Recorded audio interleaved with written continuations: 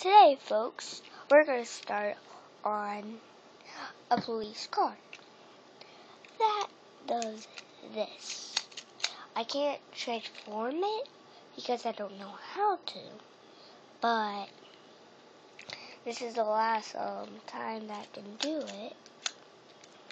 You can also do this.